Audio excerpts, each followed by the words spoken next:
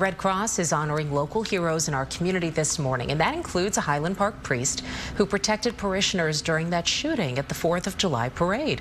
Diane Pathieu has more. 12 people displaying tremendous acts of kindness and selflessness were honored this morning by the American Red Cross. This is the 21st year for the Heroes Breakfast. One of the heroes jumped into action during the Highland Park parade shooting last summer.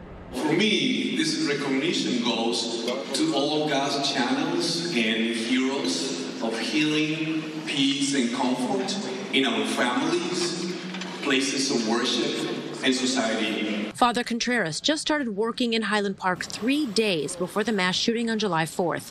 On that day, he opened his church doors to help get strangers to safety running from the shooter. He was honored this morning. And I heard that, that, that this sounds as fireworks.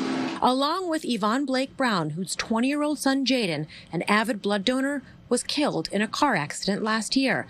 He needed dozens of units of blood to keep him alive. Fighting as hard as he could, he passed away a week later, and his mom now honors his legacy of helping others when they need it most. It's bittersweet. I would do anything not to be getting an award. But I'm glad my child lived a life that has a legacy like this that we can be proud of. I'm very happy that someone that looks just like him is being in the news for something positive. Ivana is also a Red Cross hero for not only keeping her son's memory alive, but starting a nonprofit in his name and hosting a blood drive in his memory, saving countless lives. There were 12 heroes honored this morning of all ages, including brother sister duo Naomi Melton and Caleb Johnson, helping feed the hungry by preparing a thousand lunches and donating them to shelters. Thank you, everyone, for being so kind to us, we hope to make many more safe lunches.